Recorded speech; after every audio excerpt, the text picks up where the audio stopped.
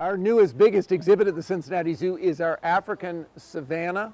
You've probably come recently, you've seen everything from painted dogs to giraffes to bat-eared foxes. But what we've been waiting for is finally here.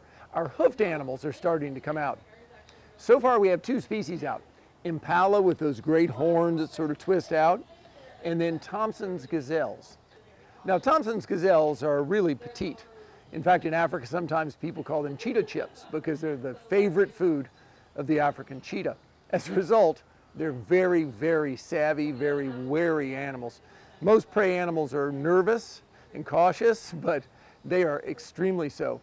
Now impala are a little less that way because they live in great big herds in nature. One male will have a harem, a great big group of females that he lives with. And his safety in numbers, they're all looking in different directions and they're very worried about predators, but not as worried as if they were by themselves or in pairs. Having them out here in the savannah is really fun. When you've come to the zoo, you might notice we currently have burlap up on the side. And the reason is to let animals that are brand new recognize here's where the barrier is to your exhibit. Here's the border.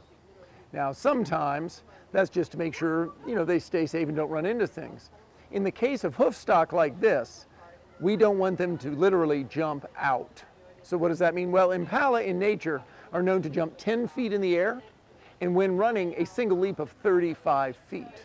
And though we do have barriers between them and the lions, I'll tell you what, if they really got going, the two might get mixed up and that would work out very badly, of course, for the impala.